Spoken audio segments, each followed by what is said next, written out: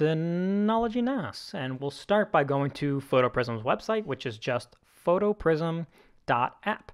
Then I'm going to click on Docs. And on the left-hand side, you see a section called Docker Compose. So I'll click Docker Compose. And then not too far down, make sure you're in the Linux section for configure. It says download our docker compose.yaml example. So I will do that and ignore the rest of the instructions because I was not a good student in school. And then I will just need all of this, so I'll just select it all and hit copy. If it happens to actually download, you can open this file up in any text editor and you should be able to just copy all of this text. And now, let's go back to the Synology NAS. So you need Container Manager, which if you don't have, you can just pick it up in the Package Center and type in Container Manager. Whew, I was pretty far off, I still got it. Pretty good. Then click Container Manager, install it. If it's not showing up for you, that means your Synology does not officially support Container Manager, but it's probably worth Googling and seeing if people were, get, were able to get it to install anyways. So good luck if that is you. So I'm going to click on Container Manager. And you don't need to do this. I don't usually do this, but I do for the bigger projects. So I'm going to click on Registry, and I'm going to type in Photo Prism, all one word.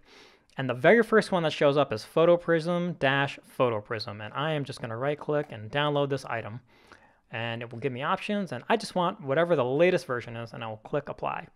PhotoPrism is pretty big, so that's going to download in the background. If you didn't do that, if you skipped, probably not going to make a big difference here. So now I'm going to click on project and then click create. Actually, I'm going to exit out because I need to scoot you over because I'll need file station.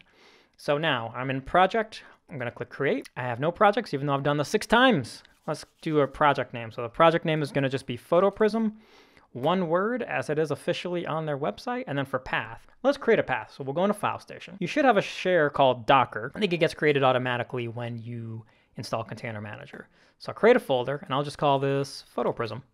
Click OK. And then I'm going to scoot you over to the left because I'm going to have to come back to you a couple times. So I'll go back to Docker container under path, set path, Docker, PhotoPrism. And then for source, instead of upload Docker Compose, I'm actually going to click on that and click create Docker Compose. And now I'll just paste all that text from the Docker Compose file that I got before that was on PhotoPrism's website, this dockercompose.yaml file here. Just need to make a couple of changes. So I'm going to scroll down to a section. You can see Services PhotoPrism. That's where I want to be at first. Section called Environment. Under Environment, I'm going to change the admin username. You can change it to whatever you want. I use my legal birth name, which is volume data 21. You don't know if it's that any different than that or not. And then PhotoPrism admin password, insecure. Um, I'm just gonna make up a password. And then for PhotoPrism auth mode, it says password. That is not a password for you to change. That is a mode that it is setting.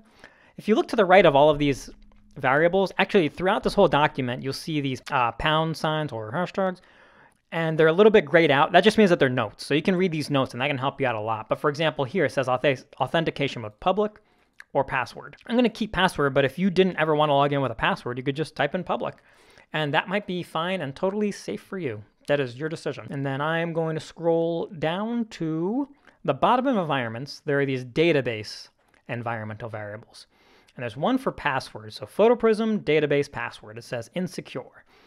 Typically when it says insecure, I think that means it wants me to change it to a different password. So there we go. That looks pretty secure to me. I'm just going to copy that. So I'm going to put PhotoPrism as one of the more, mm, let's say, intermediate Docker Compose projects that I've done here so far.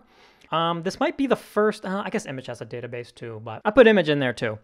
Project with databases with the password, that typically means you have to put it in two spots and it's the same password. So one is in the project. So in this service, it's PhotoPrism, which if I scroll back up, nope, just a little bit further down, you can see we're still in the services PhotoPrism thing. Hey, PhotoPrism successfully downloaded. Cool. So if I scroll down, there's another one for the database and it's MariaDB. And I know that it's a service because it's got the image right underneath it, which is, it's going to download a database called MariaDB.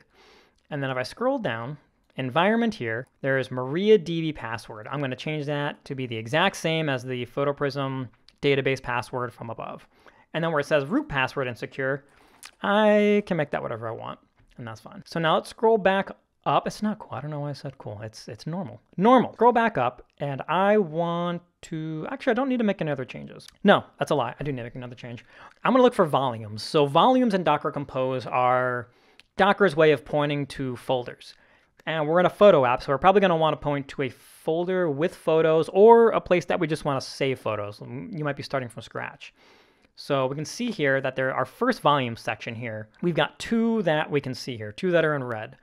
So the first one says tilde dash pictures colon. I'm just going to change what's to the left of here. So you can read the instructions to the right. Original media files do not remove. That's I feel like that's a little ambiguous, but if I were you, point this to a folder on Synology NAS that maybe doesn't have any photos or has just got a couple photos. Probably get a feel for PhotoPrism before you start pointing it to your entire photo library, but I have one. So I'm going to go to File Station. And in my Docker share, I have a folder called Photos, which may or may not have photos. I'm to right click that, click on Properties, and I'm to copy the location. And then I'll exit out of there. And I'm to come back here. I'm to replace all the way from the tilde. The tilde is actually just a shortcut. It's a shortcut for a home folder. As you can read up here, they actually tell you what some of the stuff is. So I can erase that tilde. I'm to go all the way up to the colon. I'm not to delete the colon, but I will just paste in that folder for my photos. And yeah, so now it's to point there, and that's where it's to that's where it's to save photos and it's to look for photos in that folder. And then I'm to scroll down. I need a couple of other volumes. So it needs a storage volume. Sorry, still shaking off a cough.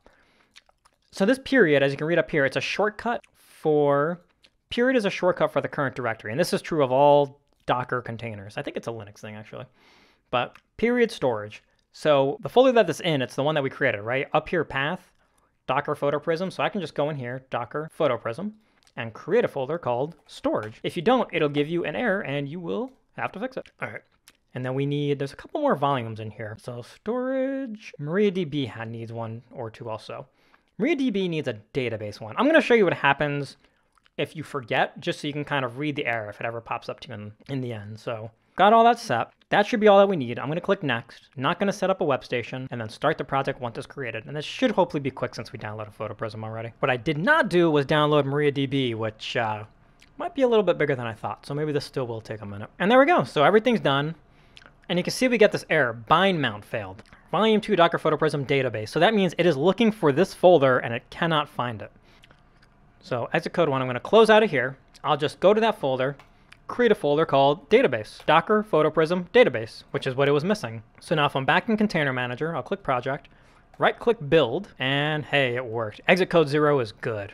PhotoPrism was successfully built. and if I left, if I click here on the left tab, I can see container. We've got our database, PhotoPrism MariaDB, and then the PhotoPrism container, which is just PhotoPrism-PhotoPrism. This is also where you would update these containers. So if there's ever a PhotoPrism update, just click on container, and there should be a button that says, hey, I'm ready to be updated. All right, but now the important part is how do we get to PhotoPrism? If we go back to Project, double-click PhotoPrism, YAML configurations. You remember this guy, we were just here. There's a section under PhotoPrism called ports. We're not trying to get into the database, so we're not going to worry about th those ports. We're going to come down here, and we'll see ports, 2342. We only care about the one on the left. The one on the right side is for, that's for Docker. That's its own thing. In this case, they're the same. It's not uncommon for them to be different though, but we just want the one on the left. So what this is saying is, hey, in order to access my service, you need to go to the IP address of whatever device I'm installed on, colon 2342. It's installed on our Synology NAS, so we need the Synology's IP address, which if you don't know your Synology NAS's IP address, you can just come up here to the right, top right, under Widgets. You should have a section called System Health, which if you don't, just click the plus and you have System Health. And you'll see your IP address, my case, mine is 192.168.8670.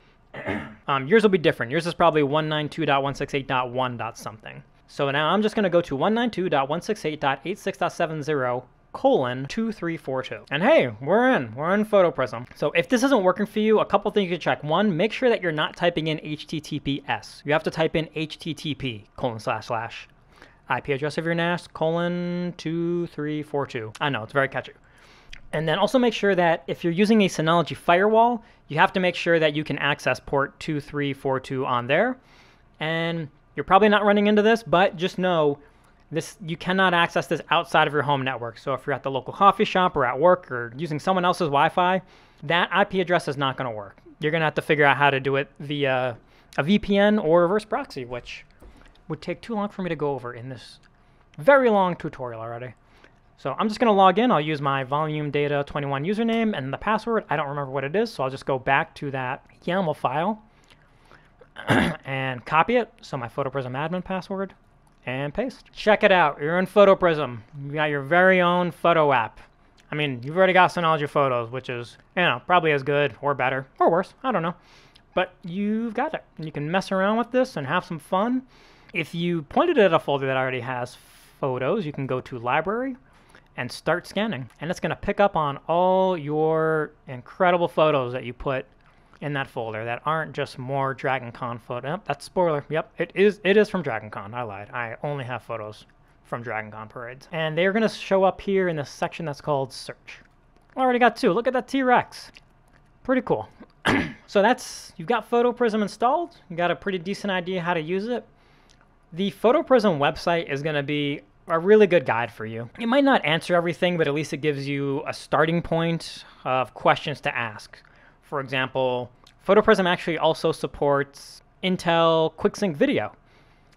So if you've got some larger videos on your Synology NAS and you have an Intel Synology NAS, it can actually transcode video for you, which might be helpful. You can also add in additional directories. And this is going to be a decent spot to look that up. I know if you're just getting started in Docker and you don't know much about Linux, it's a little bit tricky, but it's a decent starting point. I will, however, very stupidly, because I'm not great at this, but I will, well, I, I somewhat know what I'm doing. That's how I would describe myself. I somewhat know what's going on here. Let's see if we can edit this YAML configuration a little bit. So I'll come back here. I'm in Container Manager. Well, let me close out, so I'll start fresh. Container Manager, Project. I'm going to double click PhotoPrism, and I'm going to hit Stop in the upper right-hand side. Stop, exit code zero. That's good. I'm going to close out, and then go to YAML configurations, and I can edit some of these YAML properties. So let's say you wanted to add in another folder. Maybe you've got two folders of photos on your Synology NAS, which would be incredible. That's so many folders.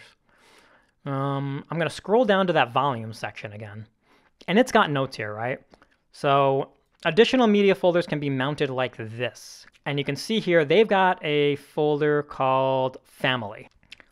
This is one of those rare case, no, I shouldn't say rare, but one of those instances where we can now start messing with stuff to the right of the colon. So I am going to get rid of this pound sign and make sure that the this section lines up with the section above and with, with the section above it, any active sections.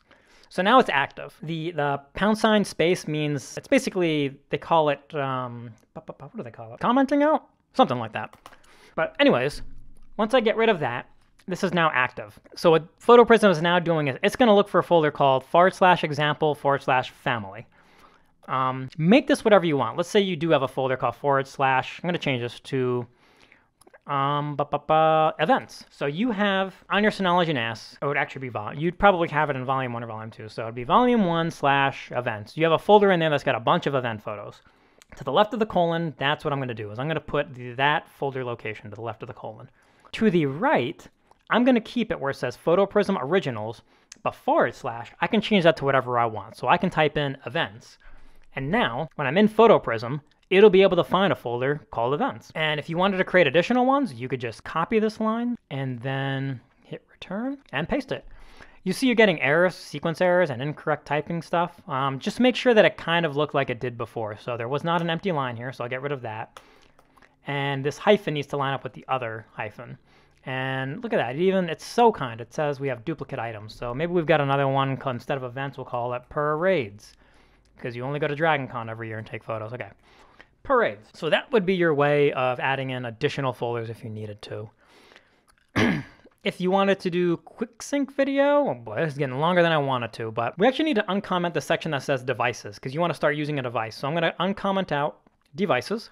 This is right above there. I'm going to come down to where it says dev DRI, dev DRI. You can see the comment where it says Intel Quick Sync Video and uncomment you out. And we're good.